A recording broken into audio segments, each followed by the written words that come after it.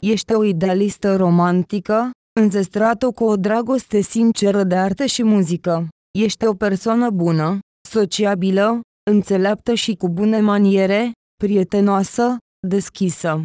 Un diplomat născut și un jucător de echipă, ești prin natura ta, politicoasă și sensibilă la nevoile altora, e inimile oamenilor la propriu în mâinile tale și chiar simți durerea lor. Pentru ca ei să înceteze să sufere, ești gata să faci ceva și de multe ori o faci atât de zelos că nu observi cum oamenii profită de bunătatea ta.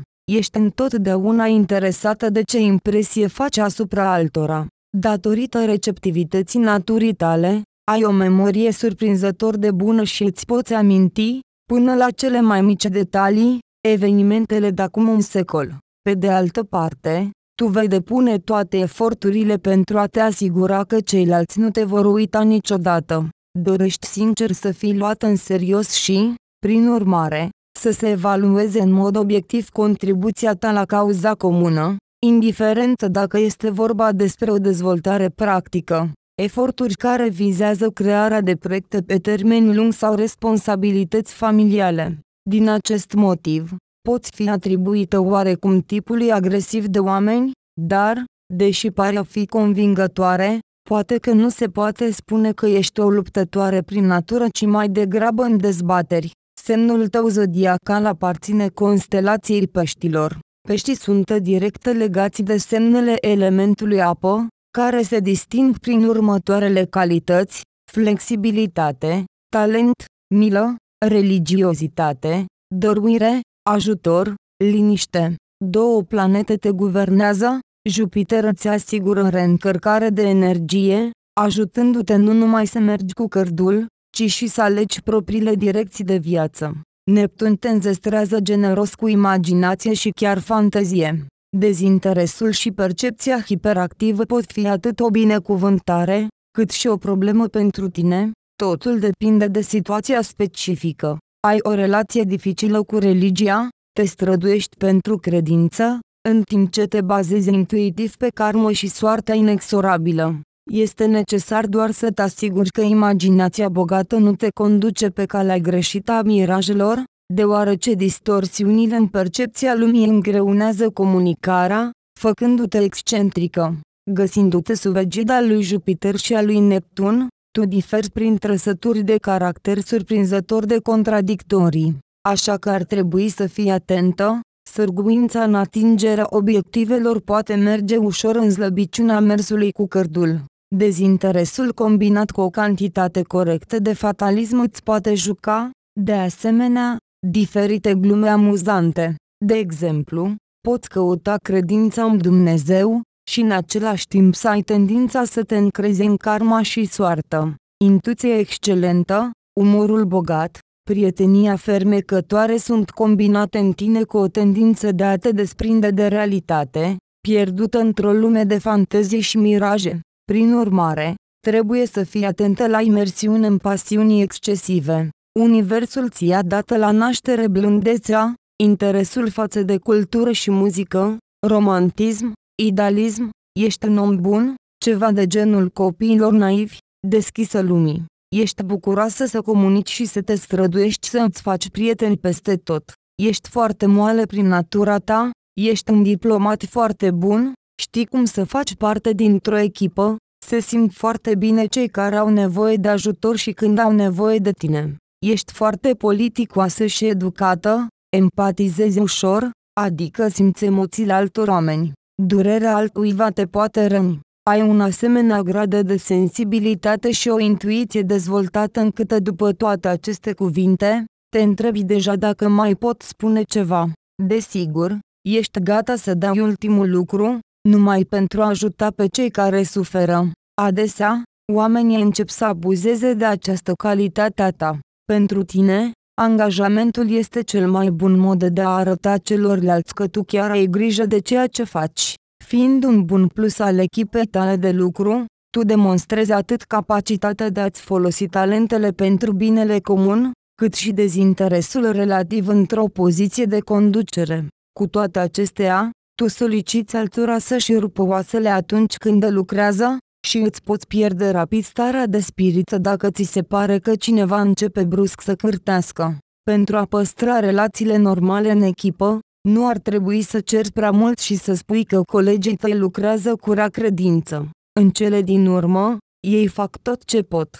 De obicei, demonstreze o mare dorință de a fi prima. Cu toate acestea, tu ar trebui să eviți victoriile dubioase, construite pe sentimentele publicului simpatizant. Ești o natură supraemoțională, nu ești imună la critică și acest fapt te determină negativ calea vieții. Numai prin a învăța să îți gestionezi emoțiile, ele pot deveni mai echilibrate. Și totuși, nimeni nu trebuie să se înșele că îți vei ascunde sentimentele adevărate. Dar entuziasmul și credința în tine însăți sunt atât de puternice încât uneori îți este deosebită de ușor să reacționezi prea mult. Astfel, este foarte important, mai ales când te apropii de vârstă înaintată, să înveți să fii mai filozof și mai tolerant la viață și să-ți realizezi gradul de influență asupra altora ceva mai plăcut. Deși deschiderea și impresia sunt avantaje clare pentru tine, ești uneori prea impresionată de orice. Din acest motiv, poți intra sub influența factorilor negativi, iar apoi abilitatea de a simpatiza se întoarce împotriva ta. În plus, ești atât de nerăbdătoare să mulțumești pe toată lumea, fără discriminare, că turiști să te compromiți, învățând să fii mai puțin conformă, reacționând mai puțin acută la ceea ce se întâmplă și, în ciuda nenorocirilor care au avut loc, să rămâi credincioasă convingerilor tale este cel mai important pentru tine. Nu ești similară cu alți nativi din pește având astfel de calități, ești bună, plină de compasiune, misterioasă, fermecătoare, fină și delicată, atrage bărbații cu vulnerabilitatea și lipsa ta de apărare. Feminitatea și slăbiciunea ta reprezintă principala ta grevă, creând o atmosferă de mister în jurul tău. Dispoziția ta nu este ușor de realizat și acesta este motivul pentru care uneori această dispoziție face să nu controlezi emoțiile. Cele mai puternice caracteristicele tale sunt feminitatea și abilitatea de a dispune în mod corespunzător de caracteristicile semnului, respectiv fragilitatea și moliciunea. Cum afectează data de 20 februarie soarta ta? Prefer întotdeauna să fii în centrul atenției. Ești destul de energică și ai o memorie excelentă, grație cărora poți reproduce cu ușurință toate evenimentele din trecut în cele mai mici detalii. O mare importanță pentru tine este modul în care te tratează oamenii din jurul tău, ce impresie ai putut să faci asupra lor. Întotdeauna încerci să participi activ la diverse activități și să dedici timp și atenție unui număr mare de persoane, familii, colegi, prieteni. Dorința de a face o impresie de neșters poate duce către agresivitate, dar încă nu aparți în totalitate agresorilor. Ești pur și simplu indispensabil în echipa ta, iar talentele tale pot dovedi altura cât de mult îți pasă de munca ta preferată. Cu toate acestea, tu ceri de asemenea, o mare dăruire de la colegii tăi, nu tolerezi timpul pierdut și lena excesivă. Pentru tine este întotdeauna important să fii prima, dar ai grijă, unele dintre aceste victorii pot fi false și vei obține doar simpatia publicului înconjurător. Este important să înveți cum să-ți controlezi emoțiile și să nu le permiți să câștige un ascendent asupra ta. Administrarea corectă a emoțiilor tale te va ajuta la realizarea armoniei cu ceilalți și cu tine însăți. Este bine să reții că emoțiile negative afectează sănătatea ta, motiv pentru care este atât de important să menții nu numai echilibrul mental, ci și fizic. În ciuda faptului că sinceritatea și dorința de a te bucura pot fi atribuite calităților pozitive, nu exagera. Nu îți mai face griji pentru toată lumea pe care o întâlnești și aplică de la bun început proverbul, câinele moare de grija stăpânului și prostul de grija altuia. Principalul lucru pentru tine este de a te bucura chiar și în fleacurile de zi cu zi și, în niciun caz, să nu te îndepărtezi de credințele tale. În același timp, nu ar trebui să mergi prea departe și să-i supringi pe cei din jurul tău cu autoritatea ta. Este suficient să-ți cunoști mai bine sinele interior. De regulă, la vârsta adultă, vei fi capabilă să realizezi un mare succes și să-ți personalizezi viața în modul dorit. O minte clară, Buna și pura dispoziție te va ajuta la depășirea multor obstacole și dificultăți. Dragoste și compatibilitate. Sentimentală, idealistă și romantică, ai o idee proastă despre toate realitățile relațiilor intime. Urăști conflictele și poți încerca să păstrezi pacea într-o situație inadecvată. În loc să întâlnești dezamăgirile față în față, preferi să porți ochelari de culoare roz spunându-ți că totul este bine, chiar dacă nu este. În viața de familie ești extrem de responsabilă și serioasă. Perspective bune pentru crearea unui respect reciproc într-o familie ai cu rac, scorpion și taur. Acești bărbați sunt cei mai compatibili cu tine, au aceleași opinii cu privire la viața de familie, priorități similare ale vieții. O căsătorie poate avea succes în alianță cu Fecioara, Balanța și Capricornul, unde șansele sunt de 50 pe 50. În această uniune, imediat, trebuie să se distribuie responsabilitățile și obligațiile, să se accepte libertatea reciprocă.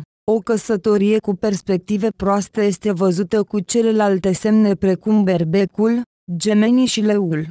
De exemplu, în aceste combinații de cupluri există foarte puține perspective pentru o căsnicie fericită, este puțin probabil să vă înțelegeți reciproc, deși totul este posibil, neștiind nici ascendentul tău și nici lista datoriilor karmice reciproce. Locuri de muncă și carieră. Tu te gândești mult la imaginea ta și încerci să te comporți astfel încât ceilalți să nu te uite. Ai o memorie excelentă, ești tenace, lucrezi pe emoții. Ai o abordare foarte responsabilă a muncii tale și oferim totdeauna tot ce este mai bun din tine. Cu toată puterea ta, încerci să impresionezi pe alții, uneori chiar arătând agresivitate. La lucru, nu te grăbești în mod special spre scaunul șefului. Ești interesată să lucrezi în sine ca o modalitate de a dovedi celorlalți cât de minunată ești, dar nu și pentru carieră. Ești foarte pretențioasă față de colegi, nu tolerezi nici măcar un indiciu al muncii de mântuială sau evitarea îndatoririlor. Aici poți fi sfătuită să nu încerci să judeci pe alții prea aspru, fără să cunoști motivele, gândurile și, în cele din urmă, bunăstarea fizică, altfel poți rupe relațiile cu echipa pentru nimic. Responsabile pentru munca ta, nu te amesteci fără a întreba în afacerile altora, dacă nu ești șeful lor. Sănătate și boli. Ai un sistem nervos prea sensibil, care eșuează periodic. De asemenea, poți suferi de alergii cutanate. Ar trebui să ai grijă de starea picioarelor tale și, dacă este posibil, să eviți leziunile în această zonă a corpului. Evită mâncarea prea exotică. O dietă bine echilibrată este perfectă, și este mai bine a fi selectată de un specialist. Exercițiile regulate îți sunt benefice, cea mai bună recomandare pentru tine este aerobic. Ai nevoie de mult somn. Soarta și norocul. Ești o femeie harnică și energică. Ești talentată, dar în tinerețe pot exista evenimente care vor crea multe obstacole în calea bunăstării tale.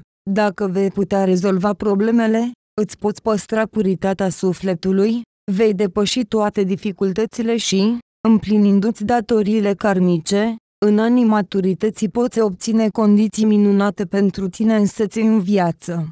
Sfaturi pentru tine. În căutarea popularității și aprobării, tu poți sacrifica multe principii, care nu sunt întotdeauna corecte. Determină ceea ce este mai important pentru tine, încearcă să nu mulțumești pe toată lumea sau să ai anumite constante și noțiunea de comportament nobil. Duci o viață interioară foarte emoțională, reacționezi dureros la critică și devii deseori pesimistă. Învață să te uiți la viață prin prisma unei filozofii ușoare, încearcă să percepi critica din exterior fără emoții negative inutile. Pentru a menține un echilibru armonios la locul de muncă, nu se recomandă să-ți asumi prea multă responsabilitate și probleme. Să lucrezi la un nivel cu ceilalți angajați și să-ți amintești că aceștia sunt la fel de conștiincioși și profesioniști ca și tine. Trebuie să înveți să-ți controlezi emoțiile.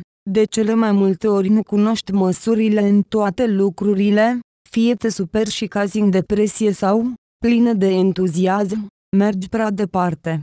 Trebuie să ai mai multă toleranță față de ceilalți și să te gândești mai mult la modul în care sentimentele, acțiunile și cuvintele tale vor afecta pe acei oameni apropiați de tine. Empatia ta uneori nu cunoaște limite, de aceea, ești capabilă să cazi în depresie din cauza nenorocirilor altora, de parcă tu ai avea prea puțină durere în viața ta. Ce cadouri ți se potrivesc? Alegerea unui cadou pentru tine este dificilă, deoarece reacția la el depinde de starea ta de spirit și este imposibil să o prezic, pentru că ce dispoziție vei avea, chiar tu însăți nu știi. Dar pentru tine trebuie să dai în primul rând hrană imaginației și să fie astfel încât, lăsându-te singură, să-l poți admira sau să te bucuri de el cât de mult îți dorește inima. Te încântă ceva pufos, care curge, delicat aromat. Vei accepta cu recunoștință profundă o lucrare de artă, dar mai întâi cel care îți face darul este bine să afle atașamentele tale pentru a nu lovi clopotul greșit. Tema ta principală este un mister, trebuie să fii onorată cu daruri în daruri. Darul, înfășurat în tonuri de violet iridiscent și liliac, cu hârtia atârnată aproape de podea, împreună cu orhidee delicate din fire de argint, vor fi primite de tine cu uimire și încântare. Pe cutie merită făcută o inscripție sentimentală în numele dăruiri, de preferință în versuri. Acest lucru va spori efectul exclusivității pentru tine. O seară romantică cu lumânări și muzică clasică, o excursie de 2-3 zile pe o coastă caldă, chiar și un coș de petale de trandafir pentru baie, acestea sunt cele mai binevenite cadouri pentru tine. Inteligentă prin natură, ești capabilă să apreciezi darul sub formă de bilete de teatru sau o filarmonică. Te încântă și obiecte confortabile, cum ar fi o pernă moale uriașă sub formă de jucărie și o cameră video profesională.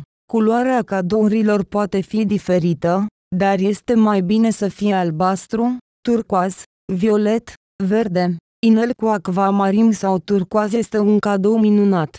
Este clar că toate recomandările sunt mai degrabă condiționate. Noi înșine ar trebui să gândim ce dar este mai bine să o prezentăm celor dragi, iar stelele doar ne vor ajuta.